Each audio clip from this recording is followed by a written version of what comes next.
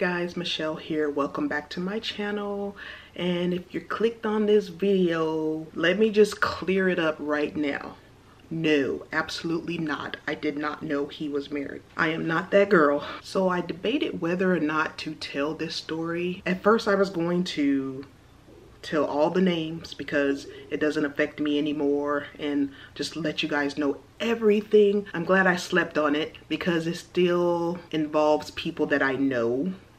I am going to omit some parts of the story. Not that you guys won't get the full story. You guys will get the full story and out of respect. So, and I wrote some notes down. So if you guys see me looking down, um, I'm not reading from anything. I just wanted to make sure I told you guys everything because you know how sometimes, well, I know for me when I've done story times in the past, I haven't done a lot, but when I've done story times and I'm like, oh, I should have told them this. Oh, I forgot about this. So I just made sure I wrote down a few little notes down here. That way I can let you guys know exactly what's going on. And I know I'm sitting in a weird spot right now. I never sit on my floor in my room. I'm in my bedroom actually, and the lighting is really good today. And it may go in and out because the sun is peeking through the clouds. You know it's one of those kind of days.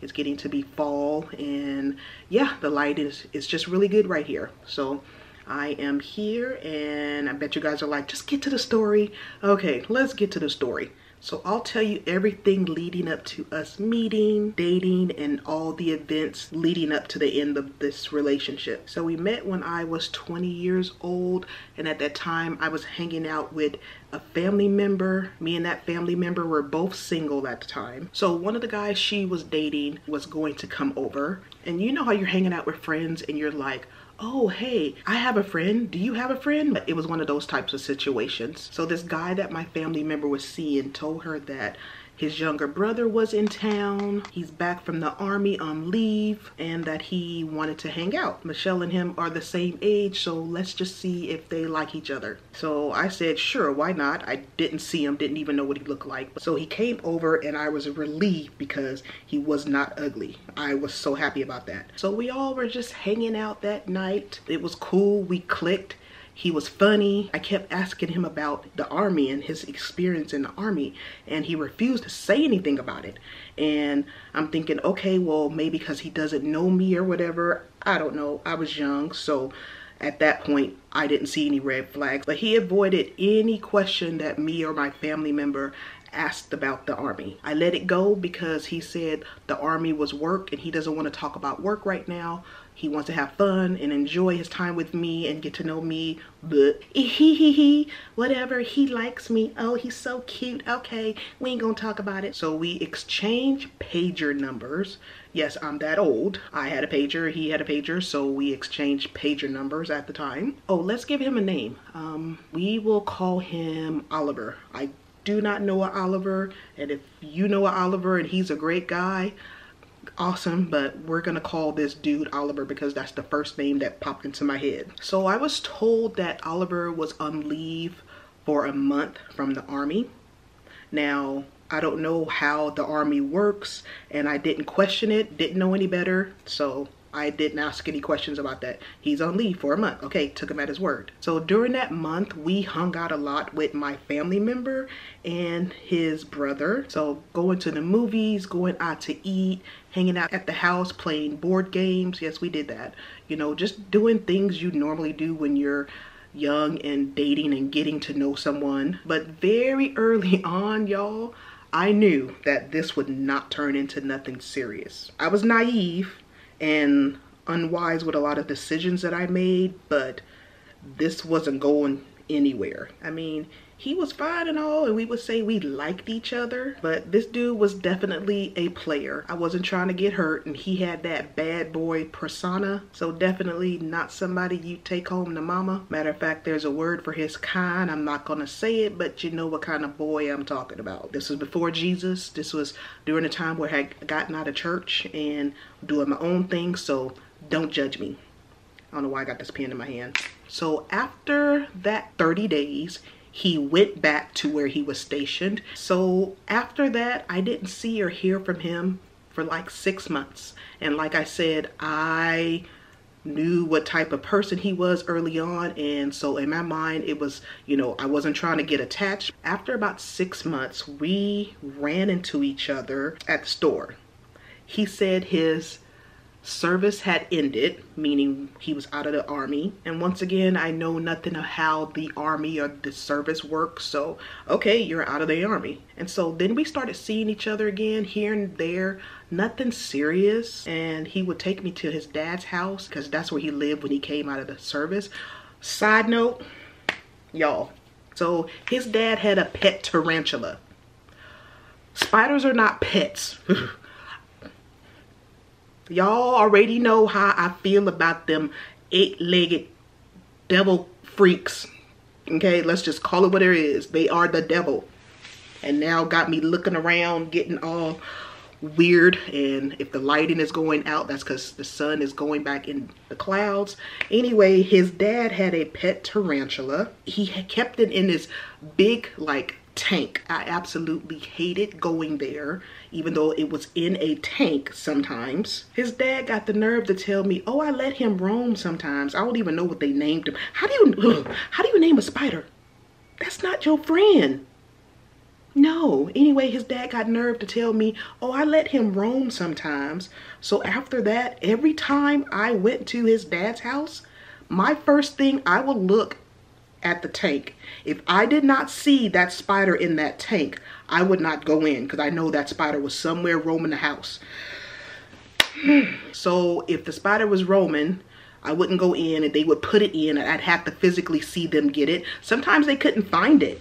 So they didn't know where it was. So it was like, mm, no, we need to go back to my apartment. I'm like, no, we're not hanging out here tonight. No, ma'am. No, sir. Not gonna happen. So even when I was there at the house and the spider was in the tank, my eyes was always on it.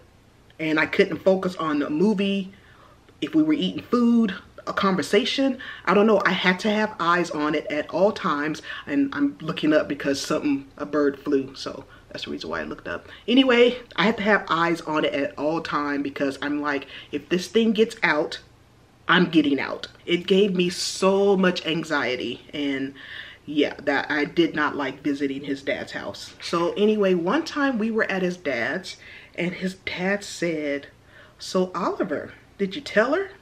I'm like, tell me what? Oliver was actually 18, not 20. Yes, legal, but of course he was in the service.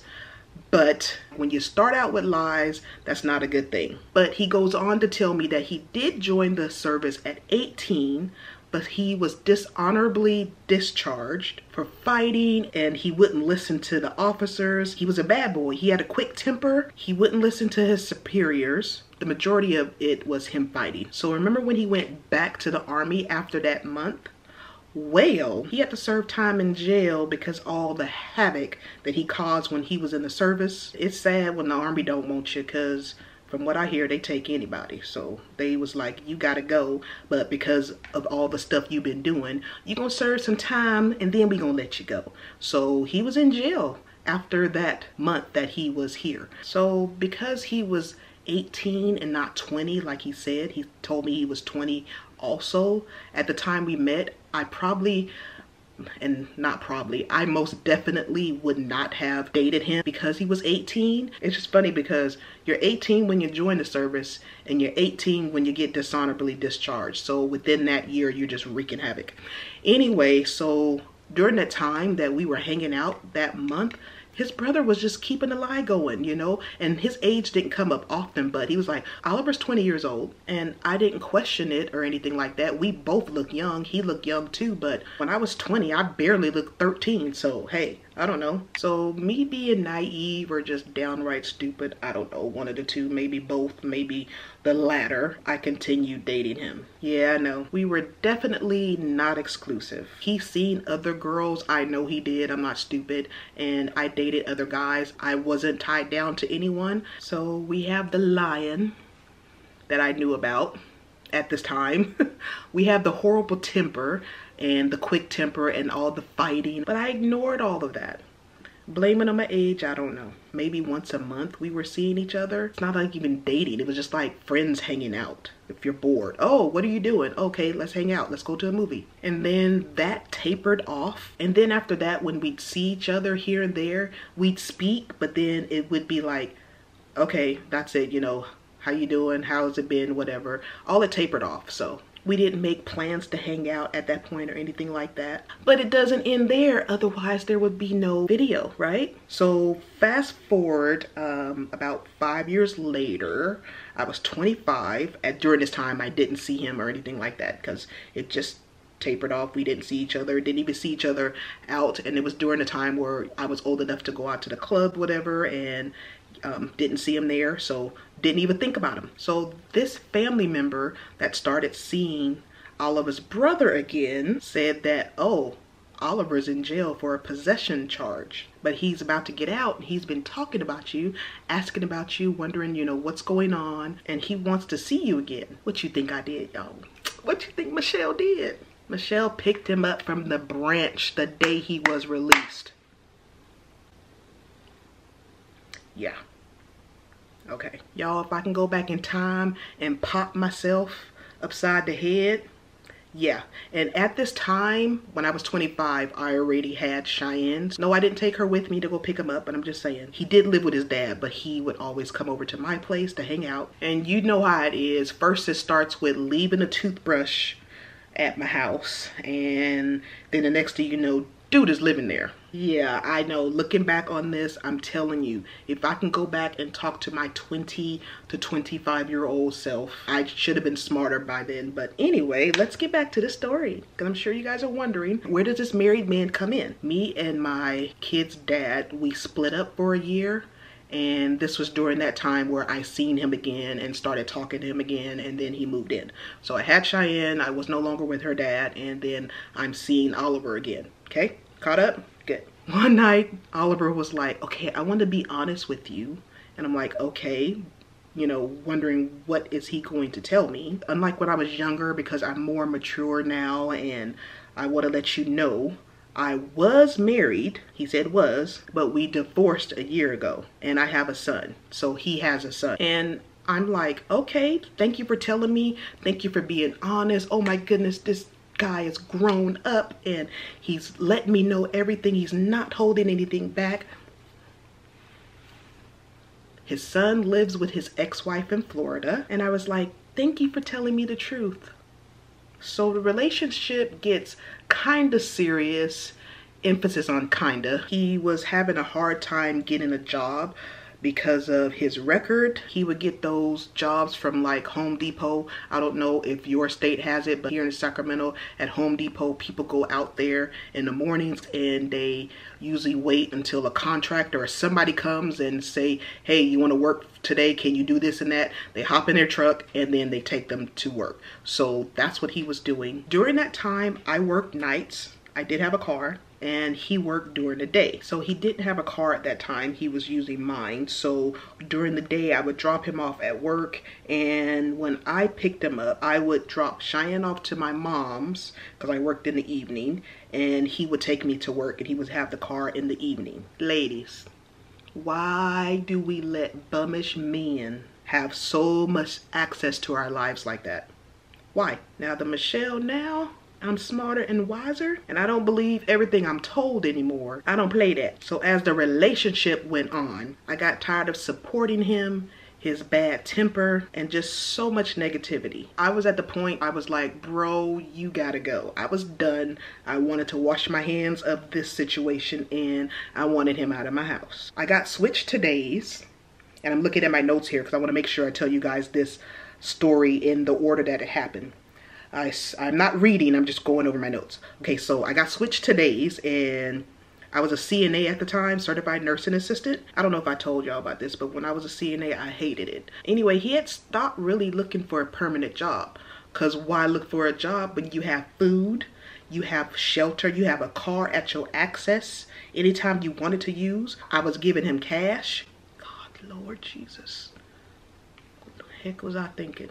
Anyway, why would you move when you have everything given to you? I wasn't rich, but I was supporting a grown man. And also during this time, he would call to talk to his son in Florida, which, you know, okay, keep in contact with your son. I'm thinking, oh, that's such a good thing. But he would always go in the other room or outside. Y'all, I was really stupid. Can't believe I'm letting y'all know all this. I was dumb. So I'm getting to the good part. I'm getting there. Give me a moment. I gotta line everything up. So one night he asked to use my car. And remember, I had been switched to days. So he said him and his boys were going to hang out and none of them could come get him. What y'all think I said? Now, the day that everything happened and that it ended, it was the next day. So I loaned him my car and I'm expecting him to be home around 12 because that's what he told me right? 12 o'clock comes around no oliver. 2 nothing.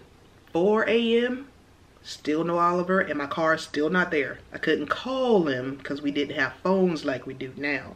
So I was blowing up his pager, didn't get a response back. So for y'all young people, what a pager is, is this electronic device that you call and it rings. Well, not rings. Yeah, I guess it rings. And the number, you put your number in it and you see the number and you're like, oh, this person wants me to call them. So you walk to a landline and you call that person. So I was getting worried because not only have I not heard from him, but my one and only vehicle, which it wasn't nothing fancy, it was a beater car, but it was my one and only vehicle. So finally, I guess somehow I was able to get some kind of sleep. So I wake up at 8 o'clock, still no Oliver. I was off that day, so I didn't have to go to work thankfully because I would not have made it in. I would have to call in. But still, my one and only vehicle was not in its parking spot. And at that moment, I was more concerned about my car and telling him when he got back, he can kick rocks because I was done. And it was about 10 o'clock when the phone rang.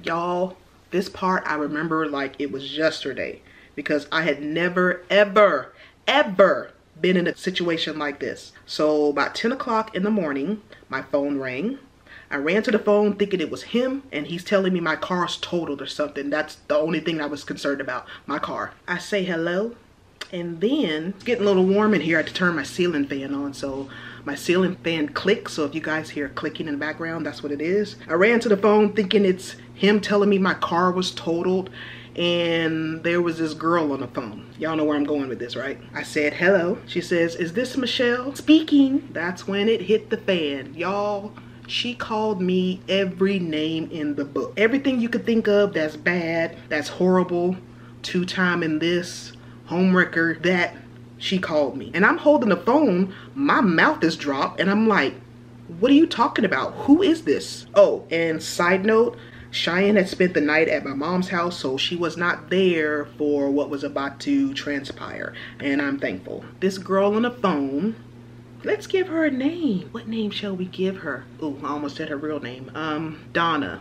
I don't know. So Donna tells me they were never divorced. They were both planning on moving to Florida because her job had transferred her there. So her and the son went first and he was going to stay behind and pack up the house and drive out there. Then he got caught with things he shouldn't have been having on him at all and he went to jail for a year.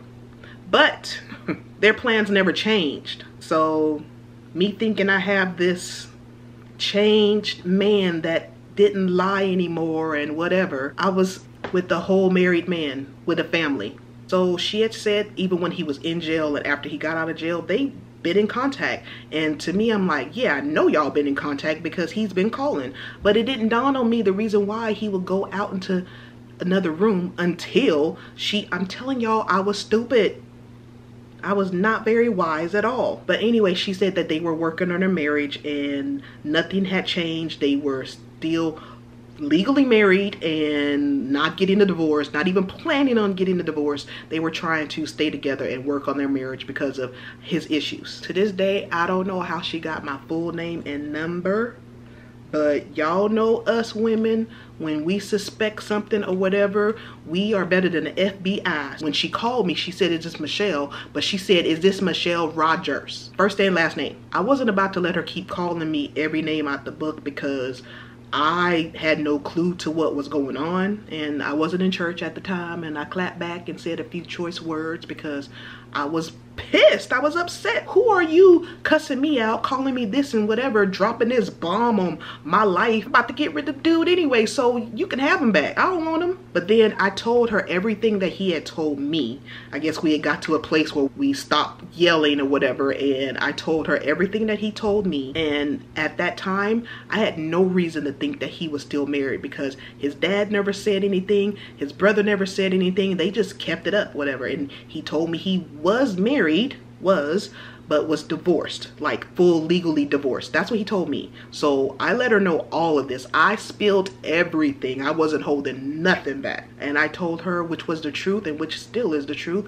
Had I known he was married, I would never, ever have started seeing him again. I might have been stupid in my early 20s, but that was one thing that it was a, a, no for me. So she was like, what do you mean start seeing him again? So then I told her how we had met years ago prior when he was in the service, when he got kicked out. They were married then. So the whole entire time, family never told me anything. I mean, not my family because we didn't know, but his family never said a word. I went from wanting to jump through the phone to fight her to consoling her because at this point she was crying and you heard it. She was sobbing and like oh my god i can't believe uh, i i felt bad for her. I i really wanted to give her a hug and i didn't know what to do at that point. I'm just holding the phone and i'd never been in that kind of situation. What do what do i say? And here she is and first she wants to kill me and then next she is sobbing asking what should she do. I don't know but i know what i'm about to do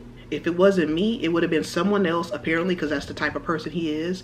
But still, I've never been in that situation, so I didn't know what to tell her. But I did let her know that I would be packing his stuff. She said she didn't want him anymore and she was fed up with his cheating. So apparently, this is something that he continued to do. That's the reason why they were having issues and they were working on their marriage. So she told me that I was the fourth person that she had tracked down through their marriage and that this was the last straw. So we actually ended the phone call on a good note, I guess. When we were on the phone as she was sobbing, I'm getting more and more upset my blood pressure is rising and boiling and the wheels in my head is turning i'm getting mad not at her but at oliver then i got mad at myself for not noticing the red flags there's certain things in his story that i am omitting out of respect to the people that it involves. So I was mad at myself for not noticing the red flags, y'all. Hindsight is 2020. So we hang up and I get to packing. Not my stuff, but his. I'm grabbing garbage bags. I'm just chucking things in there, y'all. I did not care. His bags were packed and waiting outside my apartment door. It was about to go down. I'm so glad Cheyenne was not there pretty much he was using me to get to Florida. All the money that I had been giving him for his lunch at work or this or that, he'd been saving it. His plans hadn't changed. He was still going to Florida. And at that point, my plans haven't changed. You still gotta go. And I was getting angrier and angrier because my car still was not home.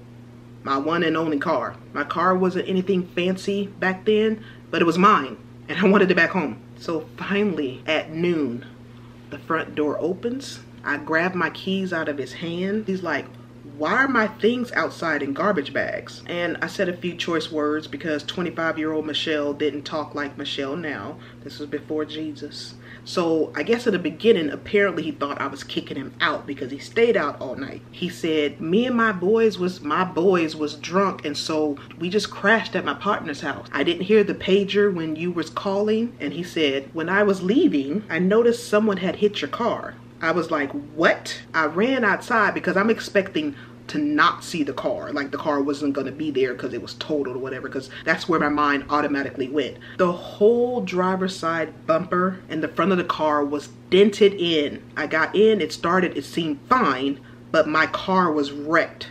It was in drivable condition but it was wrecked. I don't believe it for one minute that he was not driving drunk. I had a picture of me and Cheyenne in my car. I had tucked it in, not on the dash, but I had it in a way that it won't fall out or anything, right? And I asked him, I said, where's my picture? He said, oh, it must have fallen out when they hit your car. No, that thing was on there good. Y'all, this picture was secure where it was.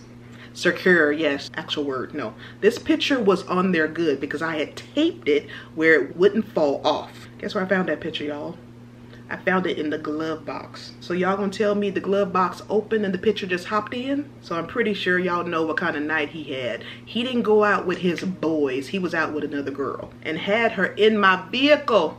And he hid the picture, y'all, and somehow wrecked my car and then stayed the night with her. So we go back into my apartment and I'm like, you leaving, bro. You got to go. I'm gonna grab my purse. I'm gonna drop you off at your dad's. I actually should have just let him figure out a way where he's going to get to where he's going, but I just wanted him and his things gone. And at this point, he's still thinking that I'm mad because he stayed out all night. I didn't tell him anything yet. He kept telling me I'm being ridiculous and I need to calm down and it's not that bad. It's not that big of a deal. He has partners that can come fix the car. And first of all, when has ever telling a woman to calm down ever worked? I told him about the phone call I got and how everything went down and the true reason why he was leaving my house. You know what he gonna tell me? He gonna try to give me a list of things. I'm gonna call her back.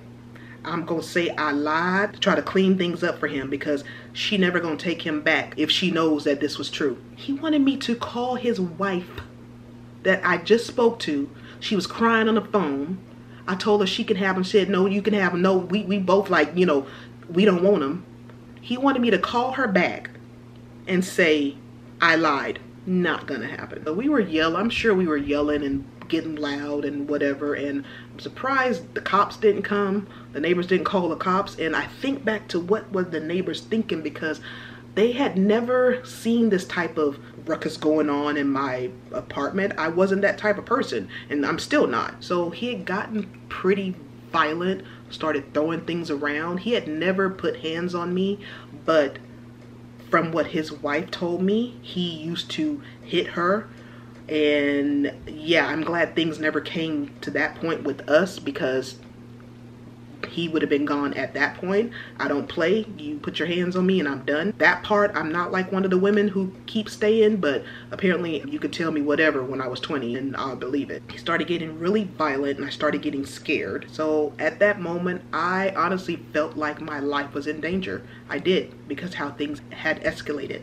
So I grabbed my purse, grabbed my keys. I hop in my car. He hops in, passenger side. He tells me he's not leaving He's screaming at the top of his lungs. And at that point, he's like pounding on my dash and screaming, I'm not leaving. How dare you? What am I supposed to do? How am I supposed to get to work? All this and that. How am I supposed to get back to Florida? How you supposed to get back to Florida? How is that my problem? So as I'm driving out of my apartment complex, I didn't know where to go at that moment. I'm glad I thought about it. I have an uncle that lives in the next apartment complex over. So I go to my uncle's and I got out the car. He stayed in the car. He had no clue what was going on. I know my uncle. My uncle don't play. So he's still screaming and yelling and beating on my dash. And I get there, I get out, I run to my uncle's door praying that he's home. Now, at this point, I'm in tears, I'm sobbing, I'm scared, I don't know what to do, I don't know what's gonna happen. And I'm sure my uncle at that moment couldn't understand a word I was saying because I was like sobbing. But I pretty much told him I wanted him to go and my uncle said did he hit you and I said no and he was like I don't understand everything that's going on but if you want him out he gotta go he said give me a sec he went to his room he grabbed a little something and he tucked it in his pants and said let's go I'm never in these kind of situations I knew my uncle had protection. I didn't know what was about to happen. My uncle was my hero that day, y'all. He was my hero that day. And he's still one of my favorite uncles to this day. Just have to throw that in there. And we get to my car and it's funny how little boys back down when a grown man is around. So my uncle said to him, I don't know what's going on between y'all and I don't care. But my niece wants you out of her house, out of her life, and you gotta raise up. Props to uncle because he was there for me. If he had not been home that night, I don't know. I'm so thankful, so thankful, y'all. So we get in my car and we go back to my house because remember, I had just grabbed my purse and my keys and hopped in the car. He hopped in also. I didn't want his stuff. I didn't want nothing that he owned at my house. I didn't want the air that he breathed still in my vicinity. So we went to my house and he grabbed his things, put it in my car, and I drove to his dad's house. It was so awkward the whole time.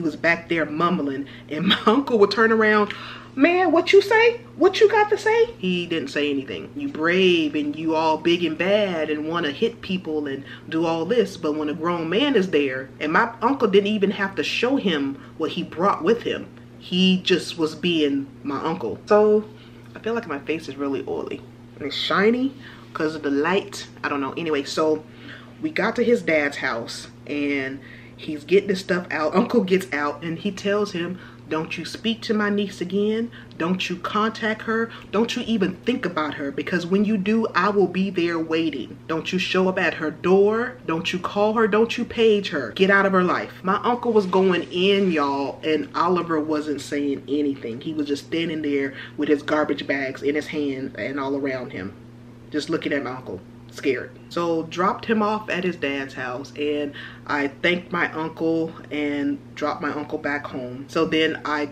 went to a friend's house to talk to her about all the drama that took place that day. So her and her boyfriend actually rode back with me to my house to pick up some clothes because I just didn't want to stay there that night and Cheyenne was still with my mom. So I got my clothes, I spent the night at my friend's house and I actually stayed away from home for two weeks because I was just afraid to go back home. So then I heard through the grapevine that he was in jail again for fighting and another charge and he was to be in there a while and he was. So i felt comfortable being at home. So went back home lived my life and never saw him again. So i heard things over the years that he was still living the thug life and was still out there being that bad boy and in and out of jail. Where is oliver now? And for this reason is the reason i'm omitting certain things. So oliver apparently and I didn't know all this until I found out at that time that he would date underage girls.